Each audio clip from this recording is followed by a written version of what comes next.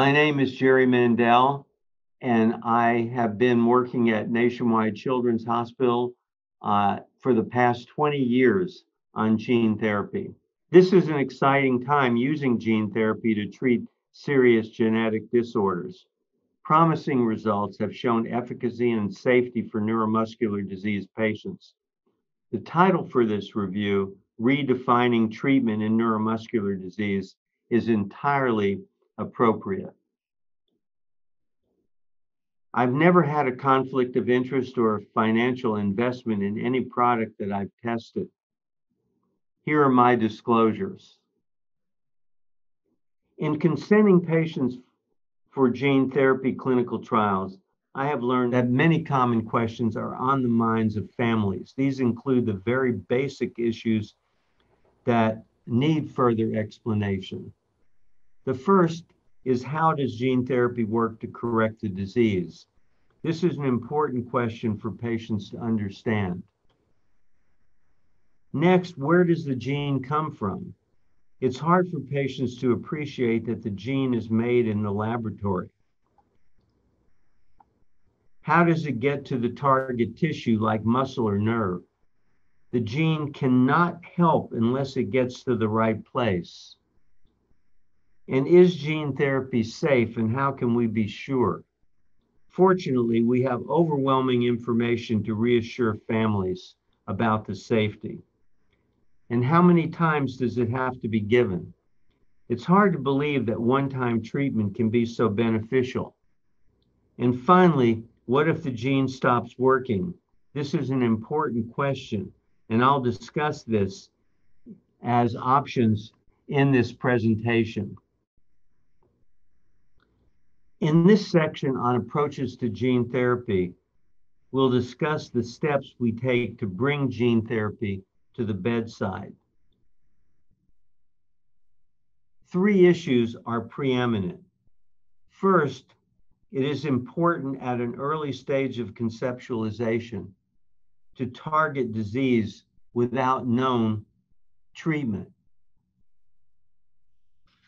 Secondly, we, we need safety and efficacy using an animal model that mimics the human disease. And the third point is about feasibility. This implies that the cost justifies the benefit. Gene therapy trials are expensive, and this means that the disease incidence justifies the, the expense.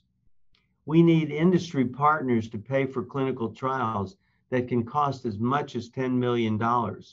And feasibility also means that the preclinical data in the laboratory predicts patient improvement and does not simply show that treatment keeps the disease on a plateau. The general principles of gene therapy are seen on this slide. The first step is delivery of the genetic material to correct the underlying gene defect. The modifier is then delivered to the nucleus of the cell. And the genetic material is designed to do one of three things either replace the missing protein, reduce the harmful protein, or provide a substitute protein that can correct the defect. In the bottom panel, we see a more descriptive look at the way we correct the gene. There are four key, key approaches to gene therapy. First, there is replacing the defective gene by gene transfer. Here we essentially ignore the defective gene and use a virus to transfer a replacement gene. Next, we add a gene that ignores the abnormal one. A new protein is produced, and this provides a substitute or a surrogate to correct the defect. The third choice is to turn off the gene that produces a potentially toxic product. This is called RNA inhibition. The fourth mechanism is one that you've all heard about and is called CRISPR Cas9. This corrects the gene at its source in the genome, and when it is done, it is a permanent and very powerful way to correct the gene. I like to review the milestones for gene therapy to point out just how recently innovation was introduced into medical practice. It wasn't until 1970 that the gene was first introduced into humans. This initial effort had very little clinical impact. It was not until 1990 that the FDA approved the first gene therapy clinical trial, and this was for adenosine deaminase severe combined immunodeficiency disease, the bubble boys. My own involvement in gene therapy began in 1999 for LGMD or limb girdle dystrophy, but the trial was stopped before completion because it was the same year that Jesse Gelsinger died from gene therapy. The Jesse Gelsinger death was caused by an, an immune response to adenovirus. And let me make it clear that adenovirus is not adeno associated virus. In 2002, another attempt was made to correct severe combined immunodeficiency disease using retrovirus. There was some success, but off target effects related to insertional mutagenesis resulted in patients developing leukemia. By 2002, the players for gene transfer for single disorders changed dramatically to AAV, that became the main tool for gene transfer, leading us down a road for successful gene therapy and facilitating the program that I began in 2004 at Nationwide Children's Hospital. In 2017, the FDA approved the first AAV gene therapy for retinal disease. This was delivered by direct injection into the eye. That same year, we reported success in treating SMA by systemic delivery using AAV. And in 2019, this was approved for clinical use, meaning we could infuse the gene into the circulation at very high dose and achieve efficacy and safety. Let's take a closer look at the viruses that have been used for gene transfer.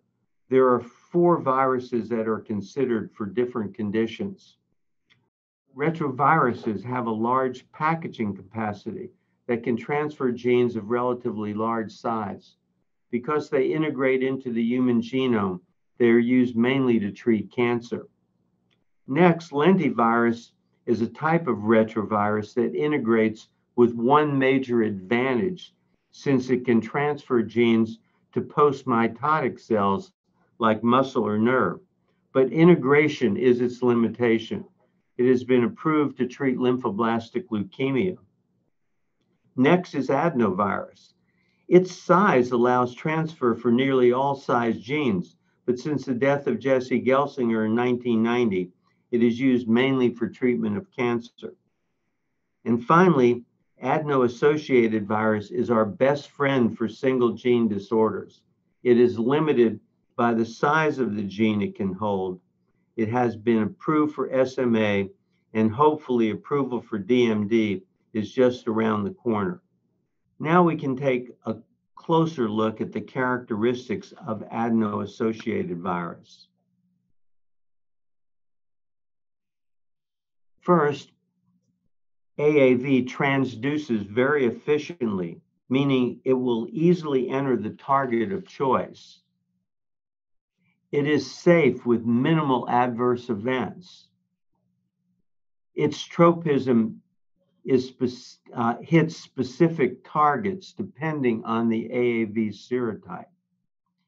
It is versatile and can be used to inject locally or through the circulation. And it is durable in that we have data now in our human trials that will continue to express for many years after gene delivery. On the bottom half of the slide, we have a picture of what the gene looks like. In the middle is the actual DNA of the gene in blue. On the left, we have a promoter.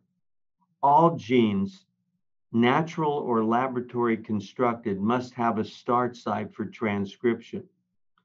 For SMA, we add an intron depicted in green and an enhancer in red that enables the gene to work more effectively. At both ends are the ITRs. These are res residual contributions of AAV that hold the gene in place as it reaches the target tissue. This is an overview of the diseases that are long-term targets of the MDA. On the left is ALS or Lou Gehrig's disease and Friedreich's ataxia. Gene therapy is still in preclinical laboratory development for these conditions. In the center is limb girdle dystrophy. And, and gene therapy is underway here in pilot and proof of principle phase one and phase two trials. And finally, DMD is farther advanced. Its success has now been shown for out to two years, and it is in phase two and soon to be in phase three trials. This slide is of interest because it addresses the critical question of the persistence of gene therapy and the potential for one-time treatment. In humans, gene therapy for Parkinson's disease has persisted for eight to 10 years. In SMA, our own studies have demonstrated continued efficacy for five to six years post gene transfer. And in DMD, we have continued efficacy and improved milestones for two years. These findings show that AAV is an enormously powerful tool for gene transfer, likely to persist for many years. Now let's look on the patient side of the gene therapy journey. First, when a family finds out about the disease affecting their child, they talk to their doctor about the next step or search the internet for possible treatment. Upon identifying a site conducting a clinical trial, the patient must be screened for eligibility. If eligible, the patient enters the trial and receives one time gene delivery the patient will be required to stay at that site for this for some time uh, determined by the protocol. As the trial extends beyond that time, the long-term benefit is determined by required visits over as long as a five-year period. Now let's look further into the details of the clinical trial. When a subject enrolls in a clinical trial, there's a history taken, and screening blood tests determine is, if there is evidence of kidney disease, diabetes, or liver disease. Blood tests are screened for elevated creatinine and blood glucose. Liver disease is excluded by blood tests for ALT, ASG, AST, GGT, or GLDH.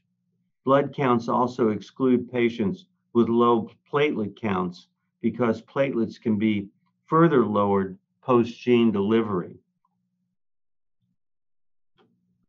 Another screening tool of importance is the blood test for pre existing antibodies to AAV. Antibodies, if present, mean there has been prior exposure, and this will exclude a patient from participating in the gene therapy trial. The blood test to determine these antibodies levels can take a few days before results are available. The question then becomes if there is a positive antibody test, is there anything that can be done about it? Several choices exist, but none have been tried in SMA or in muscular dystrophy. The choices are as follows Remove the antibody by filtering the blood, a procedure called apheresis. If positive, there's a potential to switch to another AAV serotype.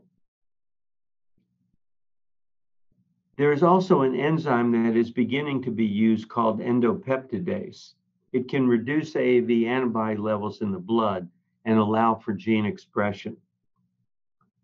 Some re researchers have used a cocktail of immunosuppressant drugs to reduce antibody levels. Drugs like rituximab and cyclosporin have been recommended, but the greater risks of side effects like those encountered in chemotherapy have to be considered. Finally, a major switch to a different delivery tool can be used, switching from AAV to non-viral nanoparticles for gene transfer. Now, let's look at the actual day of gene transfer. There is often a big buildup with nervousness related to the day of gene delivery, but it turns out this is usually a day with very few problems. Patients have IVs in both arms during the procedure that takes about an hour and a half to complete. Monitoring takes place throughout gene delivery that takes about um, an hour and a half, as I said, and includes continuous monitoring of heart rate, blood pressure, and EKG. In over 100 gene transfers, we have never seen a significant adverse event on the day of gene therapy. The most common adverse event we see post gene delivery is elevated liver enzymes. ALT is the most sensitive biomarker for liver inflammation. And we also have AST, ALT, GGT, and GLDH to alert us to liver toxicity. We do blood tests checking for low platelet counts. And additional monitoring includes checking for heart involvement by troponin levels, creatinine for kidney damage, and monitoring for complement and immune activation of T cells. The single most important measure of efficacy relies on our physical therapist. Here, Linda Lowe's, head of our physical therapy team, is measuring the time to get up from the floor. On the left, we see a patient who is rising from the floor using his hands before he is treated with gene therapy. And on the right, we see 90 days post gene delivery, and we see the patient getting up with ease without using his arms. Here we see a, DM, a DMD or Duchenne dystrophy boy on the left, two days post gene delivery before there's a chance for the gene to work effectively. And we see him climbing stairs, but notice he's not using, he's not going up one after another he's using he's not using reciprocal stairs. He's using one at a time in the majority of the steps that he takes. But as soon as nine, as 60 days post gene delivery, he is running to the stairs and going up beautifully reciprocally on a rather fast pace until he gets all the way up the stairs, showing that we have efficacy at this point in the trial. Here we see in an SMA child, she is able to sit independently by 12 months of age. And 14 months after gene delivery, she's able to cruise. And shortly after that, is actually able to walk independently. The take home messages from this presentation are that clinicians are critical in the path to gene therapy and they guide families and caregivers regarding potential efficacy and safety upon gene delivery. Next, one time gene therapy has the potential to transform patient and caregiver long term quality of life and may reduce the burden of neuromuscular diseases on patients, families, and the healthcare systems. And AAV based gene therapy has demonstrated durable responses for monogenic neuromuscular diseases following one time treatment. Thank you, and I'm grateful to all the patients and their families who have participated in these trials, and I'm available for any questions related to gene therapy for neuromuscular disease. Thank you, everyone, for joining today. Um, my name is Sherry Wallach, and I'm representing Novartis Gene Therapy Medical Affairs. A big thank you to Dr. Mandel for a wonderful presentation and for a great educational program. As a leader and a pioneer in the field of gene therapy um, it, that has done a tremendous amount of work, we are so honored to have Dr. Mandel here with us to answer questions from the participants. The first question is, what do you think are the biggest physician knowledge gaps relating to the clinical use of gene therapy?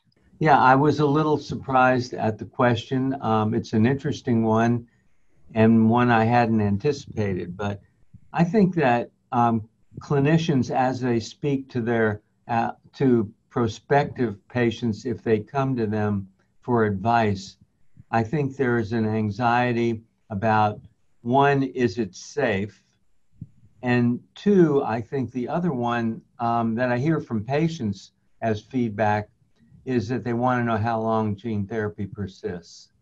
In other words, you go through all this, the expenses are very great, and is it worth the effort um, because of the potential duration? Well, we I presented it in this um, in in this slide deck, but what we we see is something that maybe even more than we anticipated. In the SMA trial, we have data now out past six years, and in the Duchenne trial, we have patient uh, efficacy out to two years, and same in the LGMD trial. And over that time, we have continued improvement. So I would say the duration um, of one-time therapy is looking very good over the long run. Great. So we, we got a little couple more questions. What do you see as the biggest barrier to access for patients of gene therapy? Um, again, I think that's an important question, but both uh, both Novartis as the as the industry partner for SMA and Sarepta as the industry partner for um, for the DMD and LGMD trials are working very hard to make gene therapy available in um, in European countries and and um, even in the Middle East. Um, there are um, approvals that are pending in those countries. There are uh, phase three trials that are moving there. And um, so I think that will happen in a very short time. The other possibility that for our trials, we have patients who are um, who come from everywhere. I saw a patient this morning in follow up in our gene therapy trial from Denmark. I've had patients coming from uh, uh, came from um, Romania um, earlier this week, and um, and we have patients coming from Spain. So they're really the barriers are not what you think they are. In contacting our group, we use our global tra- global uh, travel services to to interact with families, and we can screen them here. The biggest thing as the PI on these studies that concerns me is I hate for patients to travel such a long way and then be disappointed if they can't get into the trial meet eligi- meeting eligibility. So we try to contact the patients before and go over as many points as possible that would make them eligible and not uh, have a um, an insignificant trip. The other thing that is kind of getting in the way, obviously, of long of long term uh, ter- of, of, long um, time travel is uh, COVID. So we have to be particularly careful about that. But in, but in our hospital, for example, um, if medical eligibility is the is the single most driving force to get them here, we can we can accomplish that. So I wouldn't be reluctant to to uh, contact at least our center, and we could we could put them in contact with other centers as well. Okay. Um, here's another question. Thank you for for the presentation. With SMA, we have a very good evidence already that treating pre-symptomatic infants is ideal. Do we know anything about the latest we can treat DMD and uh, expect optimal outcomes? good question. Um, we have every reason to believe that we would see the same eh, degree of efficacy in treating infants in, in newborn screens, for example, as we are in SMA. Um, we have very clear evidence that delivering the, the titers of virus, the amount of virus, doses of virus that we're giving are actually safer in, uh, in younger infants than they are um, in, in older patients.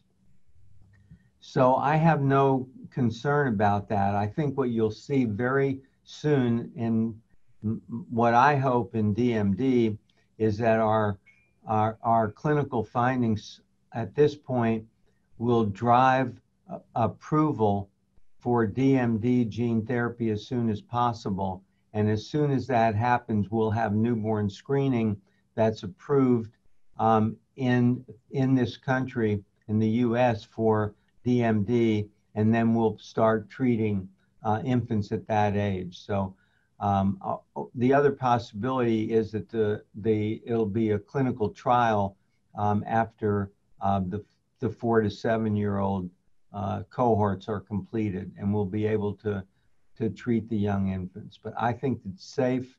Um, there's every reason to do it. I think you'll see the same outcomes we see in SMA. All right, so we'll take one more question. Um, did the gene therapy patients shown in the video receive any additional therapies following the one-time gene therapy treatment?